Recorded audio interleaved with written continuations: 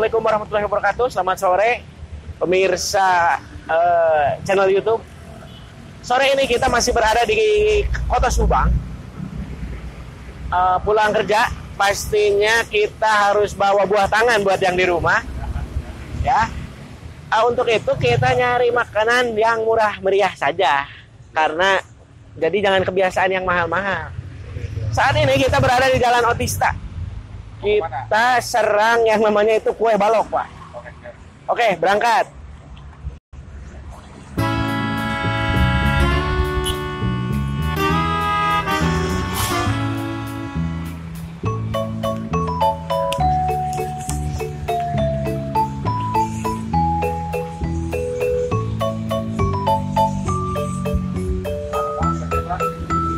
Ini mana resepnya? Mana ya?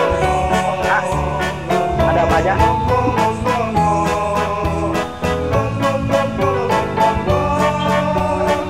Nih, resepnya. Sana, Mas?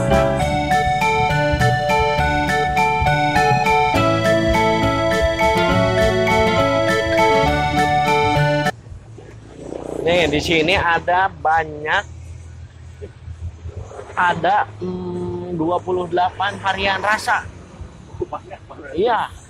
Saya juga baru tahu. Coba tunjukin. Nih. Nih yang ya yang yang matang, ada yang setengah matang. Bapak maunya yang mentah atau yang gimana?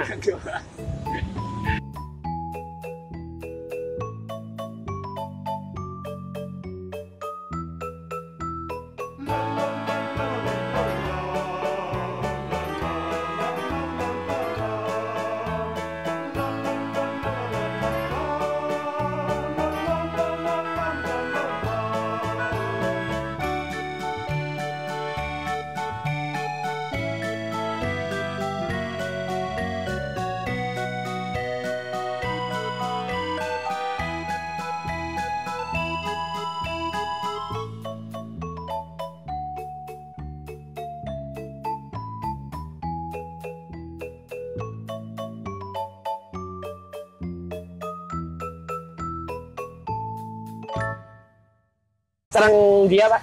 Pak Asep, Pak Asep. Eh, beliau adalah owner dari Kue Balok, Kue Balok Mang Wira ya, Mang Wiro. Mang Wiro. Eh, yang berada di Jalan Otista, Kabupaten Subang. Eh, Pak Punten mau tanya, eh, udah lama?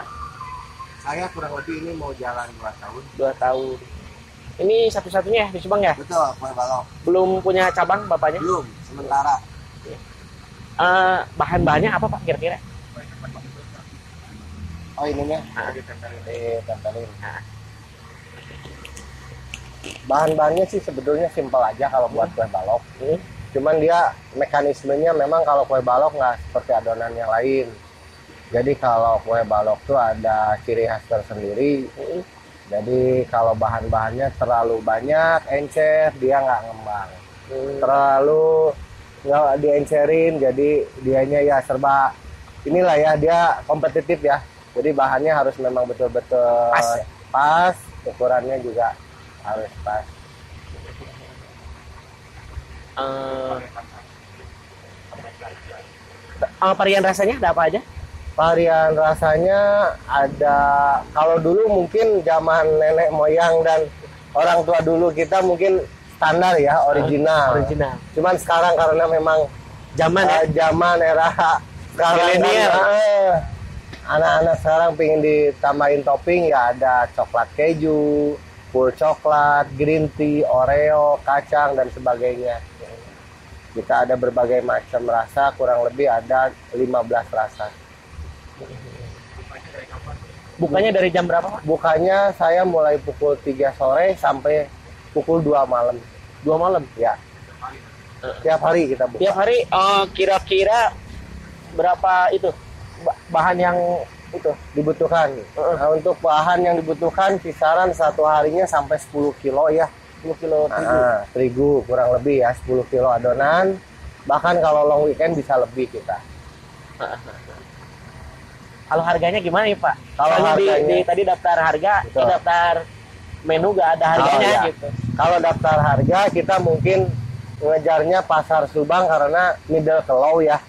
Jadi untuk satu kue balok kita harganya 2.500 yang original, kalau yang pakai topping 3.000 sampai 3.500. Tapi harganya harga anak sekolah ya. Betul, karena kita juga pasarnya bukan pasar kafe betul-betul kita istilahnya eh, kelas middle ke high karena kita juga lihatnya untuk pasar Subang kan ya, bro.